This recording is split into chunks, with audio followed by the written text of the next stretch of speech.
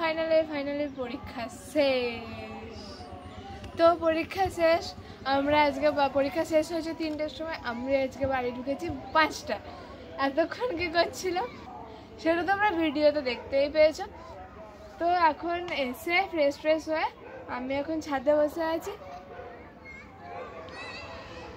তো খুব হ্যাপি তোমাদের আজকের পরীক্ষা আমার ভালো হয়েছে।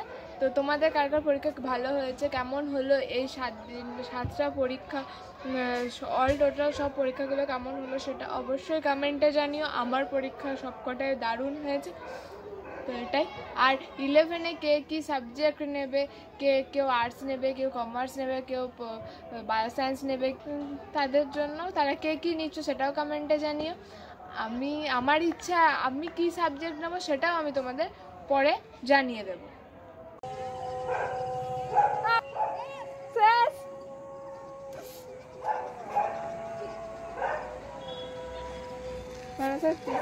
সব বসে আছে একদিকে খুশি হচ্ছে, একদিকে খুবই দুঃখ হচ্ছে।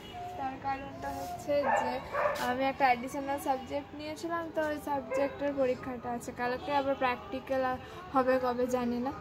তো এক্সটার্নাল আসবে বলেছে, সেই ডেটটা এখনও দেয়নি, তো এই দুটো পেরিয়ে গেলে মানে প্র্যাকটিক্যাল পরীক্ষা আর অ্যাডিশনাল সাবজেক্টের এক্সামটা পেরিয়ে গেলে মানে পেরিয়ে গেলে পুরোপুরি পরীক্ষা শেষ, এমনিতে মেন সাবজেক্টের পরীক্ষা শেষ, তো আর কোনো প্রেশার নেই, এটাতে কোনো রকম মুখস্থ টুখস্থ করতে হচ্ছে না, কারণ সবই মানে স্যার এত ভালোভাবে বুঝিয়েছে, সবই মাথায় আছে জাস্ট একবার করে চোখ বুলিয়ে নিলেই হয়ে যাবে।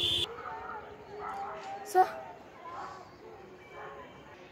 সো ফ্রেন্ডস একবার বলছি ফাইনালি এক্সাম শেষ হলো, তো এক্সাম শেষ হয়ে গেছে, তার মানে কোথাও তো ঘুরতে যাওয়ার প্ল্যান থাকতেই পারে। তো সেই সব প্ল্যান আমি, সব তোমাদের পরে বলব, একটা লং ট্যুরে যাব আমরা। তো সেই সব প্ল্যানিং কোথায় যাচ্ছি না যাচ্ছি, সব আমি পরে মানে আস্তে আস্তে বলব। এবার যেহেতু বলেছি আমি যে ডেলি ব্লগ যাবে, তো ডেলি ব্লগ মানে প্রচুর প্রচুর কথা, প্রচুর প্রচুর কথা শেয়ার করার আছে। তো আমি এক্সাম তোমাদের এক্সাম কেমন হলো সেটা অবশ্যই ভিডিও কমেন্টে জানিও। তো আমি একটা অবশ্যই একটা ভিডিও বানাবো। এক্সাম কোন এক্সামের কোয়েশ্চেন কেমন হয়েছিল, না হয়েছিল কোয়েশ্চেন আমার কেমন লাগ- লেগেছে, সবটাই আমি তোমাদের বলব। তো আসছে খুব তাড়াতাড়ি ওই ভিডিওটা চলো, দেখা হচ্ছে নেক্সট ব্লগে আজকের জন্য বাই.